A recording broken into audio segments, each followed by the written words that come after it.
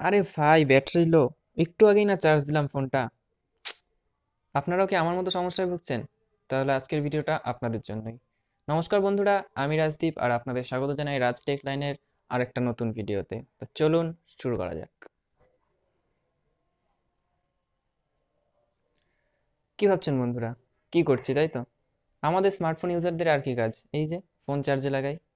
একটু পর পর ব্যাটারি লো হয়ে যায়। কি করব বলুন? তো চলুন আজকে আমি আপনাদের এমন কিছু টিপস দিচ্ছি যার জন্য যার দ্বারা আপনাদের ফোনের ব্যাটারি আর সহজে লো হবে না। ব্যাটারি লো আজকালকার দিনে স্মার্টফোন ইউজারদের মধ্যে, সমস্ত স্মার্টফোন ইউজারদের মধ্যে এই প্রবলেমটা হচ্ছে সবচেয়ে কমন একটা প্রবলেম তো আমি আজকে আপনাদের এমনই দশ থেকে বারোটা কিছু টিপস বলব যার দ্বারা আপনারা দেখতে পারবেন যে কেন আপনাদের স্মার্টফোনের ব্যাটারি তাড়াতাড়ি ড্রেন হয়ে যাচ্ছে এবং আপনারা নিজেরাই বুঝতে পারবেন এই ভিডিওটা দেখার পর যে কি করতে হবে আপনাদের। তো দেরি না করে চলুন ভিডিওটা শুরু করা যাক। আর একটাই কথা, ভিডিওটা লাস্ট পর্যন্ত দেখবেন এবং like and share and subscribe করবেন।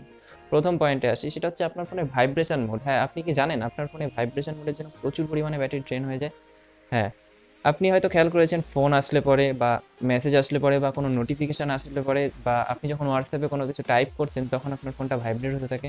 কিন্তু আপনি এটা কি কখনো ভেবেছেন যে এই ভাইব্রেটার মডিউলটা কত পরিমাণ ব্যাটারি ড্রেন করে আপনার ফোনের প্রচুর পরিমাণ ড্রেন করে, বন্ধুরা প্রচুর পরিমাণ ড্রেন করে। তো আমি আপনাদের একটাই সাজেশন দিব যে, আপনারা এই ভাইব্রেট মোডে ফোনটাকে রাখবেন না। হ্যাঁ আপনি আপনার ফোনটা ভাইব্রেট মোডে রাখতে পারেন। হয়তো যখন দেখা গেলো আপনার দরকার, যখন আপনি মনে করেন যে কোনো বাসে যাচ্ছেন বা কোনো ট্রেনে ট্রাভেল করছেন, তখন আপনার ফোন আসলে বা ইম্পর্টেন্ট কোনো মেসেজ আসলে যাতে আপনি বুঝতে পারেন, তার জন্য আপনি ভাইব্রেট মোডে রাখতে পারেন, কোনো অসুবিধা নেই। কিন্তু সেটা চেষ্টা করবেন সব খুব কম সময়ের জন্য রাখার। এবার আসি এর পরের পয়েন্টে এর পরের পয়েন্টটা হচ্ছে নোটিফিকেশান হ্যাঁ আমি আপনাদের বলছি কীভাবে নোটিফিকেশানের জন্য আপনাদের ব্যাটারি ড্রেন হয়ে যেতে পারে। আপনাদের সবার মোবাইলে এমন কিছু অ্যাপ্লিকেশন থাকবে যেগুলো আপনি ইউজই করেন না। দেখা গেল আজকে একটা অ্যাপ্লিকেশন ইউজ করলেন, তা সাত আট দিন পর আবার ওই অ্যাপ্লিকেশনটা ইউজ করলেন। তো এরকম কিছু অ্যাপ্লিকেশন থাকে যেগুলো খুব একটা দরকার হয় না, কিন্তু আপনাদের ফোনে থাকে, এটা সবার ফোনেই থাকে, আমার ফোনও আছে।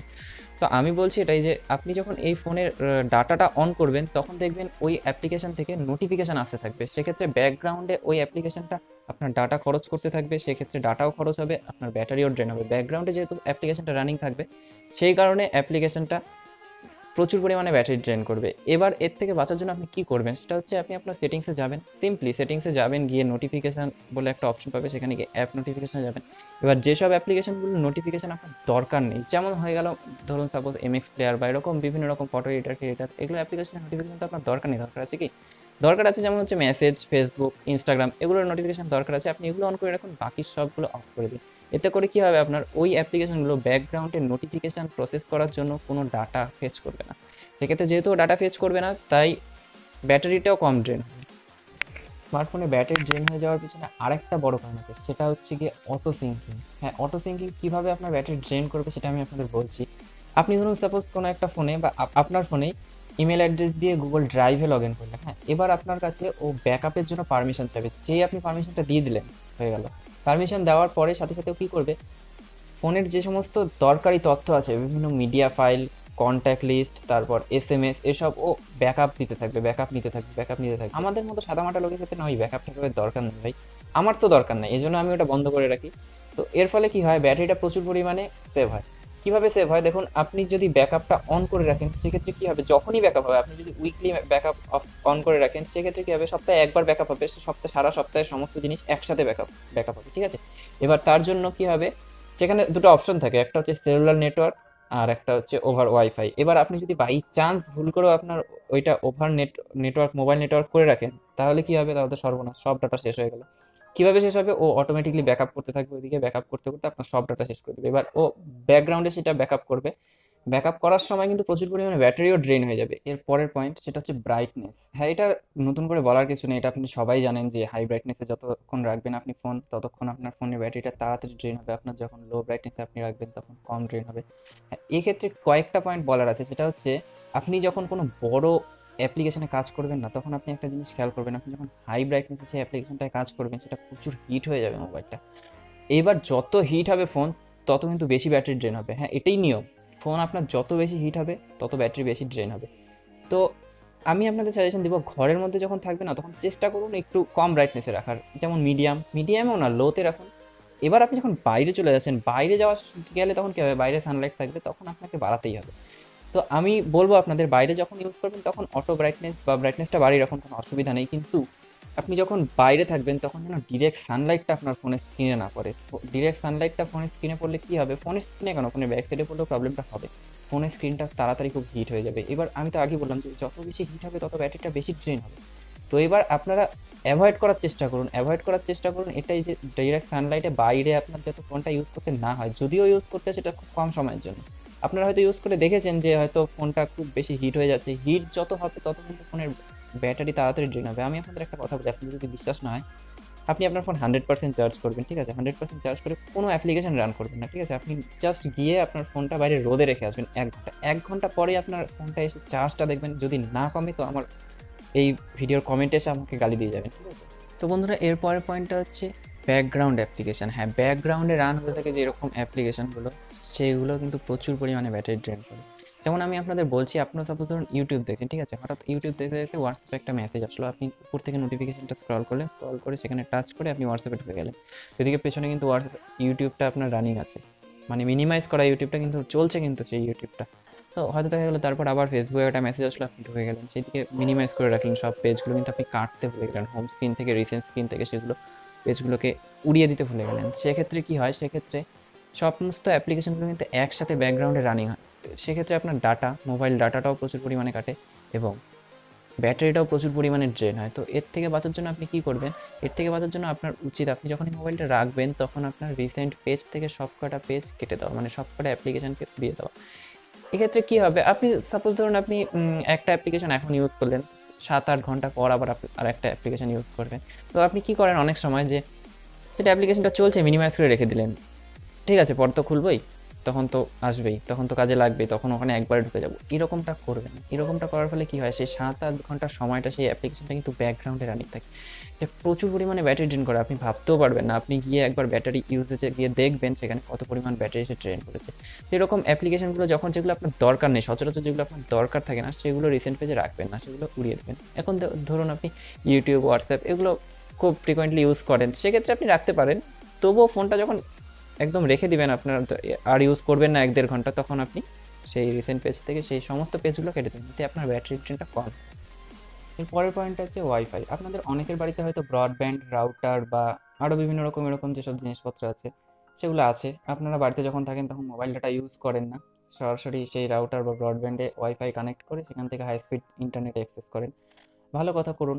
কিন্তু আপনার সেই ওয়াইফাই বা ব্রডব্যান্ড বা রাউটারে তো একটা নির্দিষ্ট ডিস্টেন্স লিমিট আছে, সে তার বাইরে চলে গেলে আপনি আর সে আপনার ওয়াইফাই আর সেই আপনার রাউটার বা ব্রডব্যান্ডের সাথে কানেক্ট করতে পারে না। সেক্ষেত্রে কী হয়, আপনি সাপোজ ধরুন বাড়ির থেকে বেরিয়েছেন, ঠিক আছে? আপনার ওয়াইফাইয়ের সাথে কানেক্ট করা ছিল, আপনি যেভাবে বাড়ির থেকে বেরোলেন আপনার ফোনটা নিয়ে। তো আপনি কিছু দূর যাওয়ার পরে তো আপনার সেই হটস্পট বা ওয়াইফাই বা রাউটারের সাথে ডিসকানেক্ট হয়ে যাবে আপনার ফোন তখন কিন্তু আপনার ফোনের ওয়াইফাই কন্টিনিউয়াসলি সার্চ করতে থাকবে নতুন ওয়াইফাই কানেকশানের জন্য কন্টিনিউয়াসলি করতে থাকবে। এর ফলে কী হবে? এর ফলে কিন্তু আপনার ব্যাটারি প্রচুর পরিমাণে ড্রেন হবে।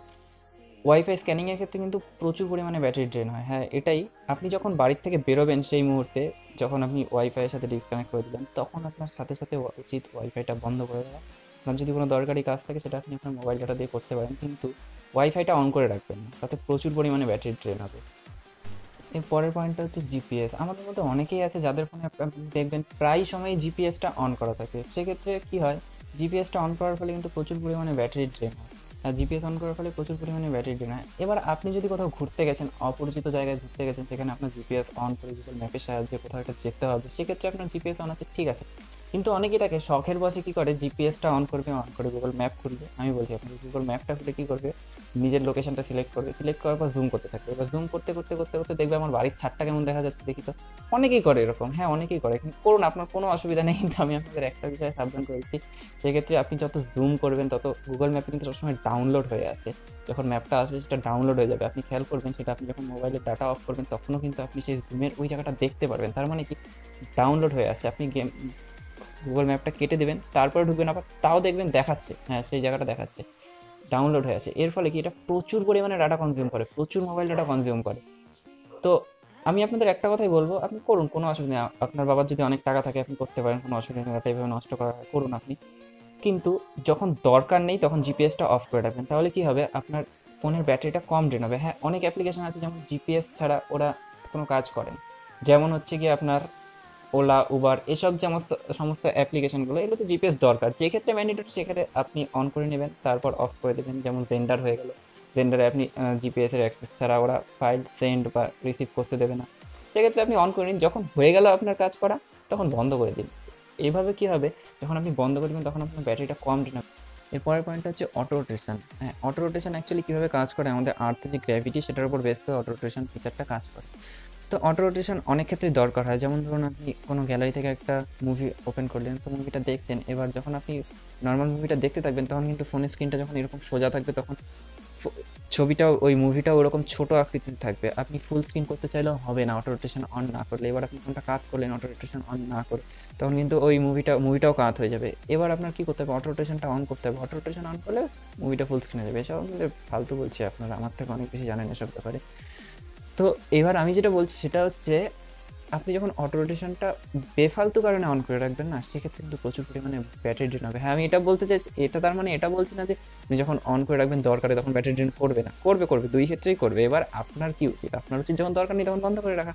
এবার আপনার যখন দরকার নেই তখন আপনি বন্ধ করে রাখুন, তো আপনি ব্যাটারিটা অনেক সেভ করতে পারবেন। এটা এবার যে পয়েন্টটা বলব বন্ধুরা, সেটা হচ্ছে ব্যাকগ্রাউন্ড ডাটা ব্যাকগ্রাউন্ড ডাটা আপনাদের ফোনে অনেক এরকম অফলাইন অ্যাপ্লিকেশন আছে যেগুলো ডাটার কানেকশনের কোনো প্রয়োজন নেই। কিন্তু আপনি আপনার ফোনে সেলুলার নেটওয়ার্কে গিয়ে ব্যাকগ্রাউন্ড ডাটায় গিয়ে চেক করবেন, সেই সব নেটওয়ার্কও কিন্তু প্রচুর পরিমাণে ডাটা প্রচুর না, দশ এমবি বারো এমবি চোদ্দ এমবি এরকম করে ডাটা কনজিউম করবে। আরে ভাই, যার কোনো দরকারই নেই, তার ক্ষেত্রে তো এক কিবিও বেশি না। সেক্ষেত্রে দশ এমবি বারো এমবি ওরা কনজিউম করে বসে আছে। সেক্ষেত্রে গিয়ে ও কখন কনজিউম করছে আপনি কিন্তু বুঝতেও পারবেন না। সেক্ষেত্রে আপনার ব্যাটারিটাও যখন কনজিউম করছে না, যখন নেটওয়ার্কটা কনজিউম করছে মানে মোবাইল ডাটা যখন কনজিউম করছে, তখন কিন্তু ব্যাটারিটাও প্রচুর পরিমাণে ড্রেন করে নিচ্ছে। তো আপনাদের কি উচিত? এক্ষেত্রে প্রচুর পরিমাণে ব্যাটারি ড্রেন হয়ে যায়। আপনাদের উচিত হচ্ছে, আপনি যাবেন সোজাসুজি গিয়ে সেলুলার নেটওয়ার্কে গিয়ে ব্যাকগ্রাউন্ড ডাটায় গিয়ে যে সমস্ত অ্যাপ্লিকেশানগুলোর ব্যাকগ্রাউন্ডের কোনো ডাটার প্রয়োজন নেই ব্যাকগ্রাউন্ডে কি যেসব অ্যাপ্লিকেশান অফলাইন সেই সব অ্যাপ্লিকেশনের ব্যাকগ্রাউন্ড ডাটাটাকে ক্লোজ করে দিন। হ্যাঁ আপনার কিছু পরিমাণে অ্যাপ্লিকেশন রয়েছে যেগুলো দরকার আছে, যেমন হয়ে গেল হচ্ছে ফেসবুক হোয়াটসঅ্যাপ টুইটার এসব অ্যাপ্লিকেশন যেগুলোর নেটওয়ার্কের প্রয়োজন আছে মোবাইল ডাটার প্রয়োজন আছে, সেগুলোর অন রাখুন। বাকি সবগুলো বন্ধ করে দিন। এর ফলে আপনার ব্যাটারিটা অনেক পরিমাণ বেঁচে যাবে। এর পরের পয়েন্টটা হলো বন্ধুরা সফটওয়্যার আপডেটের উপর। হ্যাঁ সফটওয়্যার আপডেট এই প্রবলেমটা সবচেয়ে বেশি হয় নতুন যেসব স্মার্টফোনগুলো লঞ্চ হয় না, সেই সব স্মার্টফোনের ক্ষেত্রে। এই ক্ষেত্রে কি হয়? আপনার ধরুন ফোনটার মধ্যে একটা প্রসেসর দেওয়া আছে ফোনে প্রসেসর দেওয়া থাকে, সেক্ষেত্রে সেই ফোনের মধ্যে যে সফটওয়্যারটা ইনস্টল করা থাকে, সেটা তার ডেভেলপাররা ঠিকমতো অপটিমাইজ করতে পারে না। এর ফলে বিভিন্ন রকম বাগ বিভিন্ন রকম ইস্যু থেকে যায়। এর ফলে কী হয়? ব্যাটারিটা খুব তাড়াতাড়ি ড্রেন হয়ে যায়, ফোনটা হিট হয়ে যায়। আর হিট হলে তো ব্যাটারি তাড়াতাড়ি ড্রেন হবে সেক্ষেত্রে আপনার কি উচিত? যখনই ফোনের আপডেট আসবে সফটওয়্যার আপডেট আসবে, সেটা একটু জাস্ট রিসার্চ করবেন গুগলে যে কোনো বড় ধরনের সফটওয়্যার আপডেট করার আগে গুগলে জেনে নেবেন যে সেই সফটওয়্যার আপডেটের পরে আপনার ফোনে কোনো সমস্যা হবে না তো অনেক ক্ষেত্রে কিন্তু এরকমটা হয়। আপনি যখন রিসার্চ করা হয়ে গেল, আপনার যখন দেখলেন না ঠিকঠাক আছে, সেটার রিভিউরা ঠিকঠাক আছে, তখন গিয়ে আপনি আপডেট করে নিন। আপডেট করার পর সেই ইস্যুটা ঠিক হয়ে যায়। এক্ষেত্রে সফটওয়্যারের আপডেটের পরে সমস্ত রকম ব্যাটারি ওসব ড্রেনিং ফ্যানিং প্রবলেম যেসব থাকে সেগুলো ঠিক হয়ে যায়। এরপরের পয়েন্ট হচ্ছে ভিজিট এবং লাইভ ওয়ালপেপার হ্যাঁ নতুন নতুন যারা স্মার্টফোন কেনে না, তারা ফোনটাকে সাজানোর জন্য খুব ব্যস্ত হয়ে যায়। প্লে স্টোরে যাবে, সাথে সাথে গিয়ে অনেক অ্যাপ্লিকেশন ডাউনলোড করবে, প্রচুর অ্যাপ্লিকেশন ডাউনলোড করবে গেম ডাউনলোড করবে লাইভ পেপারের অ্যাপ্লিকেশন ডাউনলোড করবে বা কোনো ব্রাউজারে গিয়ে লাইভ ওয়ালপেপার ডাউনলোড করে নেবে, বিভিন্ন রকম ভিজিট দিয়ে হোম স্ক্রিনটাকে ভরে রাখবে। তো এক্ষেত্রে কী হয়? লাইভ ওয়ালপেপার যখন আপনি ইনস্টল করবেন না, সেটা আপনার র্যামেও কিন্তু একটা জায়গা নিয়ে নেয়। যে র্যামে যখন জায়গা নিবে তখন ও ব্যাকগ্রাউন্ডে সবসময় অল টাইম এটা একটা ভিডিওর মতো চলতে থাকে সবসময় আপনার ফোনে আপনি যখনই কাজ করবেন সেখানে সেটা সব, তখনই রিয়্যাক্ট করবে। এর ফলে কী হয় অল টাইম এটা রানিং থাকে, আপনি বন্ধ করতে পারবেন না। এর লাইভ ওয়ালপেপার যখন আপনি ইউজ করছেন তখন কিন্তু বন্ধ করতে পারবেন না ব্যাটারি ড্রেনিং হতেই থাকবে পেছন থেকে।